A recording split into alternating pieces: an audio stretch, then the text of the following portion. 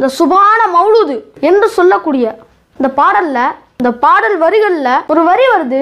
நபிகள் நாயம் சல்லாஹ் அலிவசல்லம் அவர்கள் பிறந்தவுடன் அவர்களின் பாட்டனார் அப்துல் முத்தலிஃப் தன்னுடைய பேர குழந்தையை பார்த்து அதாவது நபியல் நாயத்தை பார்த்து பாடியதாக மௌலிதில் ஒரு பாடல் வரி வருகிறது.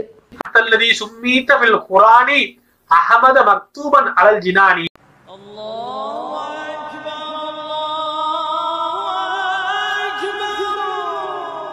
அஸ்லாம் வலைக்கம் வரமத்துல்லாய் வர்க்கத்தும் இன்னைக்கு என்ன பார்க்க போகிறோம்டா இஸ்லாத்தில் குர்வான் ஓதக்கூடிய முஸ்லீம்கள் குர்வானுடைய ஒவ்வொரு எழுத்துக்கும் பத்து நன்மைகள் இருக்கிறது என்று நபிகள் நாயம் சல்லா அலி அவர்கள் நமக்கு சொல்லியிருக்க. அதை ஓதாமல் அதை வீட்டில் ஒரு மூலையில் வச்சுட்டு நபிகள் நாயகத்தை புகழ்கிறோம் என்று சொல்லிக்கொண்டு மௌலூத் என்ற ஒரு புத்தகத்தை ஓதுவதை நம்ம பார்க்குறோம். இந்த பாடல்களை பள்ளிவாசல்லையே வைத்துக்கொண்டு பாடிக்கொண்டிருப்பதை பார்க்கும்போது ரொம்ப வேதனையாக இருக்கு. இறைவனுடைய சொல்லுக்கு மாற்றமாக நபிகள் நாயம் ஸல்லல்லாஹு அலைஹி அவர்களுடைய சொல்லுக்கு மாற்றமாக இன்றைக்கு முஸ்லீம்களில் சில பேர் நடந்து கொள்வதை பார்த்தால் ரொம்ப கஷ்டமா இருக்கு.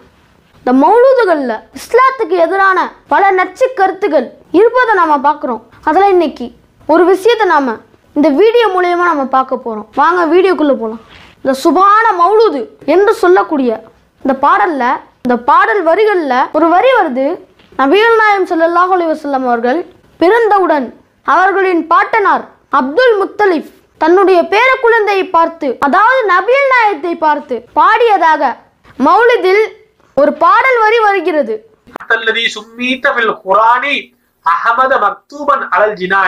அந்தல்லதி சம்மைத்த பில் குர்வான் அகமத மக்தூபா அலா அல்ஜினான் என்ற பாடல் வரி வருகிறது. குர்வானிலே உங்களை பற்றி அகமது என்று கூறப்பட்டுள்ளது. சொர்க்கங்களிலும் இது எழுதப்பட்டுள்ளது என்று என்ற பாடல் வரி இந்த மௌலூதுல வருது. நம்ம என்ன கேட்குறோம்? நபிகள் நாயம் ஸல்லல்லாஹு அலைஹி வஸல்லம் அவர்கள் கைக்குழந்தையாக இருக்கும் பொழுதே குர்வான் அருளப்பட்டதா? குர்வான் இருந்ததா? நபிகள் நாயம் ஸல்லல்லாஹு அலைஹி அவர்களுக்கு நாற்பது வயதுக்கு முன் தாம் நபி என்பது தெரியுமா? நரகத்திற்கு செல்லக்கூடிய அப்துல் முத்தலிப் அவர்கள் சொர்க்கத்தில் எழுதப்பட்டதை எப்படி பார்த்தார்கள்? நம்முடைய கேள்விங்க இது. அதுக்கு பதில் சொல்லுங்க. குர்வானை பற்றியும் அதீஸ்களை பற்றியும் கடுகளவாவது ஞானம் இருந்திருந்தால் இப்படி எழுதியிருக்க முடியுமா?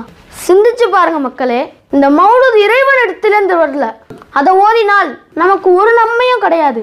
ஆனால் மறுமையில் விசாரிக்கப்படுவீர்கள். இறைவனுக்கு இணை வைத்த பாவத்திற்காக இறைவனுடைய வார்த்தைகளுக்கு மாற்றமாக செயல்பட்டதின் காரணமாக நபிகள் நாயகத்தின் பெயரால் பொய் சொன்ன காரணத்திற்காக அதற்கு ஆதரவு அளித்த காரணத்திற்காக நரகத்திற்கு செல்ல நேரிடும். நரகம் மிக கொடூரமானது. இப்படி குருவானுக்கு மாற்றமா அதீஸ்களுக்கு மாற்றமா சொல்லக்கூடிய இந்த புத்தகம் நமக்கு தேவையா? மௌலுது நமக்கு வேண்டாம். நம்மள்ட்ட திருக்குருவான் இருக்கு. السلام عليكم.